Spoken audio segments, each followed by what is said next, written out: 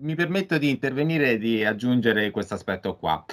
Eh, allora, uh, per quale motivo parliamo ecco, di PEC e altre cose? In realtà uh, noi oggi stiamo vivendo un fenomeno che agli occhi di molti sembra recente, ma che in realtà ha avuto già a inizio 70 anni fa quando comparvero i primi mainframe sulla Terra, i primi computer, i primi computer di fatto. Il Covid ha solo reso cosciente alla massa questo fenomeno che sotto traccia si muoveva già da tempo, ha accelerato l'uso massivo delle nuove tecnologie nella popolazione mondiale.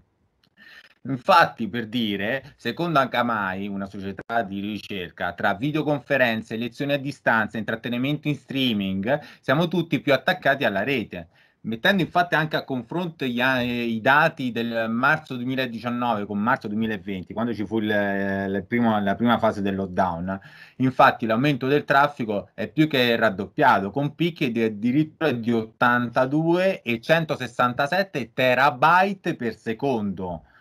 Viviamo l'automazione dei processi di lavoro. I processi stanno sempre più sostituendo il lavoro manuale per trasformare materiali rozzi in prodotti sempre più complessi ed utili. Vi sarete anche resi conto che negli ultimi anni, come è cambiata anche la giustizia, l'introduzione delle comunicazioni a mezzo PEC con gli uffici giudiziari, negli anni l'avvio del processo telematico nel civile, nell'amministrativo, nel tributario e oggi anche nel penale, la fattura elettronica per il gratuito patrocinio, l'implementazione delle udienze da remoto nel settore civile tramite apposite piattaforme, appunto Microsoft Teams,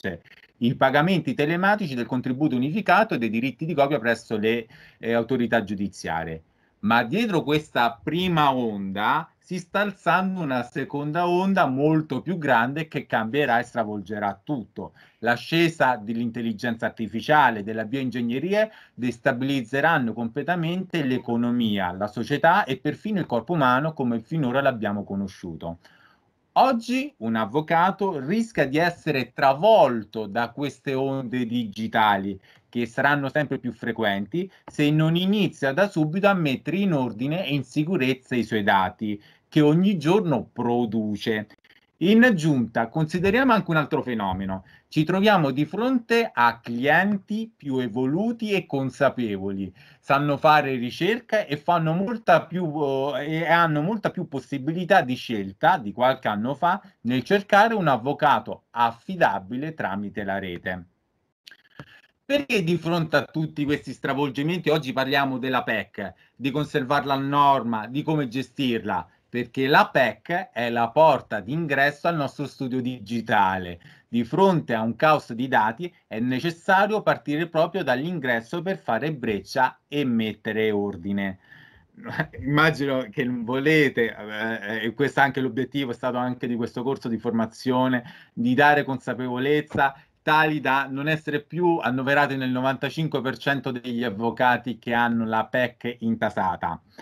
Ok? Quindi, alla luce anche di quello che, che, è emerso, la cosa fondamentale è che sempre più bisogna, tra virgolette, centralizzare l'utilizzo della PEC util- con appositi software dedicati che consentono anche di svuotare la PEC e tale da essere operativa e accessibile in qualsiasi momento, adottando anche delle apposite procedure di gestione, perché è giusto quello che dice Emiliano ma siete sicuri di voler affidare la PEC alla vostra segretaria, al vostro collaboratore di studio o al vostro praticante in assenza di una procedura di gestione? È vero sì che la PEC è nominale e fa riferimento al nominativo dell'avvocato, ma è vero anche che di fatto la PEC è, tra virgolette, aziendale perché fa riferimento al domicilio digitale dell'avvocato e alla sua organizzazione interna.